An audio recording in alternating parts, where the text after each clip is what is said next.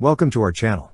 Don't forget to subscribe and put likes, because your support is important for us. And here we go. A milestone was reached in Ukraine's ongoing battle against landmines as the first GCS-200 remote-controlled demining vehicle was ceremoniously handed over from Hamburg to the Ukrainian ambassador to Germany.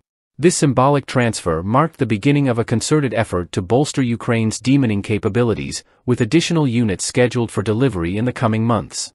The decision to ramp up support for Ukraine's demining initiatives was initiated by the Hamburg Senate in September 2023, reflecting a commitment to solidarity and humanitarian aid. With an allocation of approximately 10 million euros, measures were set in motion to expedite the procurement and distribution of aid supplies. This partnership between Hamburg and Kiev, solidified by the Pact for Solidarity and Future, has laid the groundwork for a comprehensive assistance program, spanning from medical supplies to demining equipment.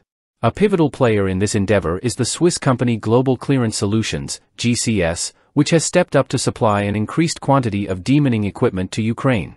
While exact figures remain unspecified, recent donations from Canada and Germany, coupled with forthcoming deliveries from Germany, underscore the international community's commitment to addressing Ukraine's demining challenges. Notably, GCS has announced ambitious plans to scale up their contribution, aiming to provide a total of 70 demining units to Ukraine by mid-2024. At the forefront of this effort is the GCS 200, a remote-controlled demining platform designed to tackle a wide range of mine clearance tasks. Equipped with advanced features such as a tiller for deep excavation and a flail for ground clearance, the GCS 200 boasts the capability to neutralize both anti-personnel and anti-tank mines.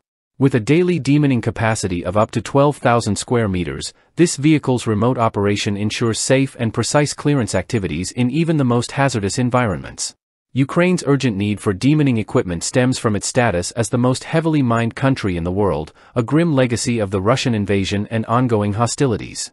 Despite significant progress in acquiring mechanized demining machinery, challenges persist due to the proliferation of explosive remnants of war and the use of unconventional munitions by Russian forces.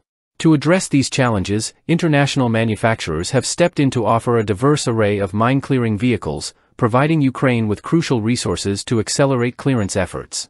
In parallel with international support, the Ukrainian government is actively fostering local production capabilities to supplement its demining arsenal.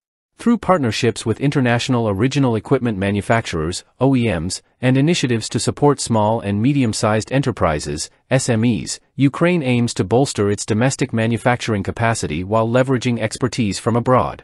This dual approach ensures a sustainable long-term strategy to meet Ukraine's demining requirements effectively. As Ukraine continues to navigate the complexities of post-conflict reconstruction, the concerted efforts of international partners and domestic stakeholders are essential in mitigating the threat posed by landmines. By combining technical innovation with strategic collaboration, Ukraine can pave the way for a safer and more secure future for generations to come. That's all for now. See you later.